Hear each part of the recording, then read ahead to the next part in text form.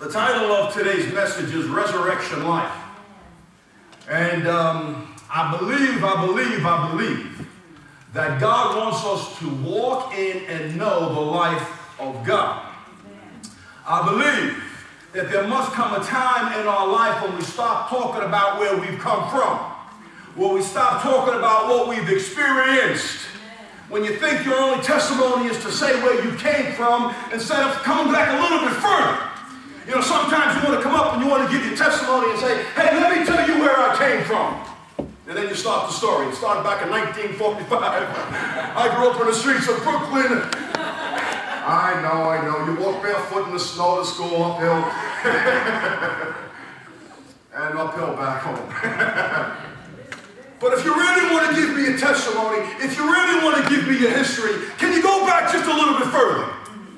Go back a little bit further. Go back before time began and tell me who you really are and where you really came from. Right. What's the matter? Memory ain't that good? yeah, man. You got a testimony? Go all the way back. Somebody thinks they ain't got a testimony. You got a testimony. You are the sons of God. You always have been. You came out of him. You are B'nai Elohim. How about that for testimony service? I just want to let you know my name is Michael. I am B'nai Elohim. I've been B'nai Elohim for 43 years, and uh, I'll be B'nai Elohim all of the days of my life. Amen. And then you won't say, hello, Michael. hello, my name is Michael. Hello, Michael. Hello, Michael. you know the drill? I'm the only one. hey, that's how it works. Give me some love, man. Resurrection life. I know that God wants to take us to a place where we stop talking about death. Do you believe that from inside of you? I believe that on the third day, that waking up in our understanding, we stop talking about where we've come from and what He's delivered us from and who we are. When do we just have glory come out of our mouth? Isn't that the truth? Amen. You know, and um, I do want to announce that we are making uh, new changes in the, in the, ministry, and I love new changes. Yeah. Amen. Amen. And uh, with Covenant Youth, we're not going to meet on Wednesdays anymore. We're going to meet on Mondays. Covenant Youth right now, it's ages 5 to 14. Come here at 7 o'clock. The parents that drop off the children, 6.45, pick them up at 8 o'clock. But we're doing something new. And God bless you all for your support. Every ministry we have in here is important. And you think you're just not attending a ministry, you are supporting a person. That's right. You're supporting one another.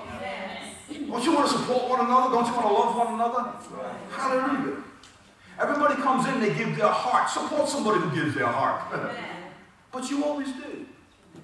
So Monday we have Covenant Youth, and this way, the Covenant Youth, the youth just aren't stuck in the back door at our Wednesday night Bible study.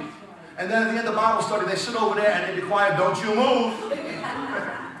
Let's give them a little something. Let's give them a little something. And then uh, also on Monday, it, it, it, allows the adults and, and uh, to uh, us to go back and be involved with the youth and, and just let them know how much we love them. Uh, maybe we can all just uh, share our gifts with the youth also. Isn't that wonderful?